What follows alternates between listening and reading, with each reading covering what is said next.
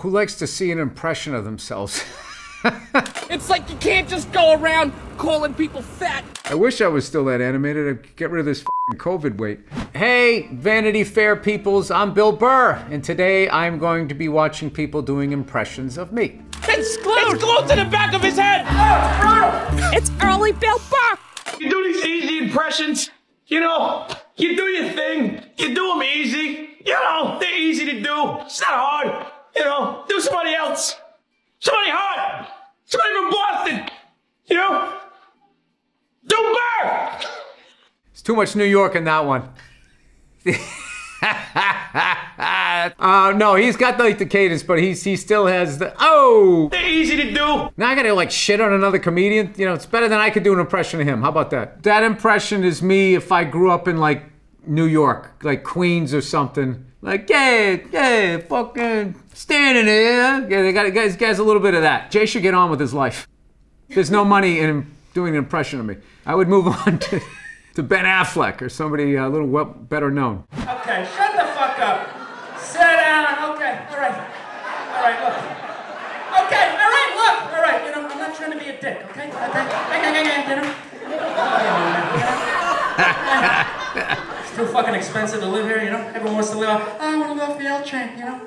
Wow, that that guy takes it, man. That's that was amazing. I tell you what's it's weirding me out. People with hair doing it and they're skinny and shit, and I feel like I'm watching one of my old VHS tapes. That guy is amazing. I feel like in five years the L train's just gonna go cross country, you know, just so people can say they live. Yeah, I live off the L train. I'm off the uh, Wilmington, Delaware stop. You know? oh, it's brutal. It's fucking brutal. Yeah, he had the whole thing. He's he's doing me in like 2004, 2007. I think I used to own that shirt.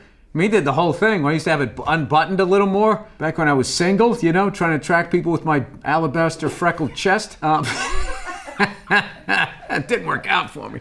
No, that was amazing. Very talented. I don't ever want to see those again. I don't, I don't want to be in my head about what it is that I, I know I lean on the mic stand. What I'm doing is working for me. I don't need these people to be pulling it apart. You know, take one thread out and then that's it. Then all of a sudden I care about people, right? Imitation's the best form of flattery, no? Uh, no, depends on how it's done. None of these impressions so far have me depicted as particularly intelligent. I can tell you that. it's me. Ah, ah, eh, ah, what the fuck? Ah. The Republicans are all like, how did, how did 81 million people vote for Biden? It's like they didn't vote for Biden, all right? They voted against Trump. Now it's like they hated him, you know? Now it's like they hated him more than like a child molester, you know? It's kind of never seen anything like it, you know? Then you ask him why. You know, like, why do you hate Trump? It's like, "Yeah, I think he, somebody told me that he called Rosie O'Donnell fat. Yeah, that's fantastic. These people are they're, they're doing a really good job. I just was watching the mannerism. It was really just this guy and the last guy. They just I, I started remembering gigs where I, I recorded myself and would go back because you know making a tape trying to get like a uh, agent or something like that. And during this period of my career. I used to I couldn't watch myself. I'm like, what am I doing? Why am I moving around like that? That what he's doing that that was all like nervous energy, frustration with where my career was at and all of this other stuff. So yeah, wow. These are all like Bill Burr fine wine. That's a Bill Burr 2004 right there. Oh God, you know you're saying all these these these kind things to me, and Now I gotta now I gotta be nice to you. That's a high pitch. That's well, like that's, a soprano. Uh, It's because it's it's early Bill Burr. It's early Bill Burr. You gotta know. It's really good. You gotta know. Yeah, that must have been really, really, really, really early on. Yeah, Marina's been breaking my balls for fuck for years, so that was actually a lot nicer than I thought it was gonna be. I would add a little little hopelessness, but the euphoria that comes when you just don't care. when the hell did we meet? Like 99, 2000? So I think that just got burned into her brain. So this is like wild. It's like watching my, like I said, my old stand up tapes, which I don't do, but like if, if I were to do that, these are all very good. Marina did a great job. Oh, dude, fucking this guy, Jay Pharoah. Love that guy. This fucking guy is Pharoah. Fucking Jay. Pharoah. His fucking beanie's hanging off his head. Like he's the fucking summer winter for this guy. How the fuck does it stay on? Yeah, The fuck is it glue? Is it is it gorilla glue? What's he doing? It's glued. It's glued. It's glued to the back of his head. Well, I mean, with the face swap, that was pretty wild. Um, yeah, I mean, that's pretty good, you know. Um, it's, I have a choppy cadence, I guess. Summer, winter for this guy. This is why I didn't want to do this shit, because I don't want to know what it is that I do. I mean, that I think that was the clean version of it. That sounded like young me, as opposed to uh, beaten down by life that you now see, which is why I'm wearing my happy blue sweater to try to offset where I am mentally right now. I mean, I don't really listen to myself. It's not like I, I watch I, I think no, I think it sounded good to me. I think. I mean, I was too weirded out by the fact that my face was on his face. Yeah, and I was like, I used to have hair. Oh shit, is he my AI replacement? AI Andrew Santino is gonna come kill me one night. The Illuminati liked you better when you had hair. And then that'll be the end of me. But that'll be good because I won't have to go to LAX anymore. Fantastic. I'm gonna leave my doors unlocked tonight. Will you get off of it?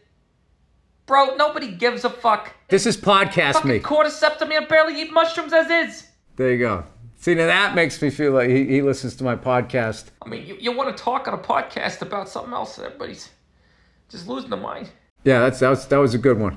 Well, he did say talk, so he got a little New York in there. I got a lot of New York guys doing uh, impressions of me. That's pretty cool. What I liked about this one is I feel like he was doing not me doing stand up. He was doing the podcast where it's just more like you're hanging out and I'm just like talking and you're listening for whatever reason, getting through your cardio or some awful Southwest flight, whatever the hell it is you're doing. That's almost cigar, smoking a cigar with me. I, I slouch down the seat like that. I'm like, hey, that's all bullshit. All these fucking people out here. What are you gonna do?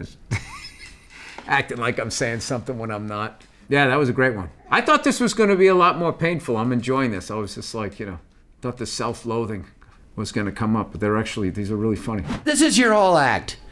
Albert Einstein's a genius. What do you think, Bill? Um, I, I don't. Is he? Is he really? He couldn't even get a decent haircut. Wait, what's that? His mustache, he couldn't trim it.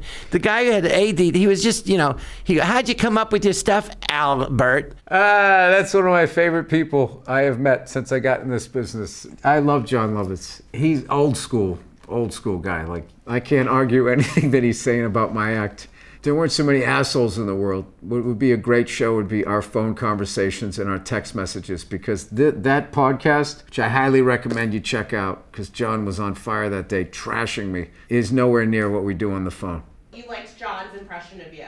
Uh, was that your favorite? I can't pick favorites here. I got to run into all these people down at the club. You're going to create all this drama. I liked, uh, for different reasons, I, lo- I love Jon because you know he just he gets like right to it. He's like a surgeon. And he just he just goes right for the nerve. So i like him because he was being funny but he's also really trying to trash me. So he's also a legend. So i love that one. Uh, i love marina's because i know her from way back in the day. Andrew santino's as far as creepy factor with the the face swap was incredible. The one kid who came out with the shirt I mean, I liked them all. They, they were they were really good. I'm flattered that people that funny have listened to me enough, taken the time to listen to whatever it is I'm doing, that they can um, do an impression.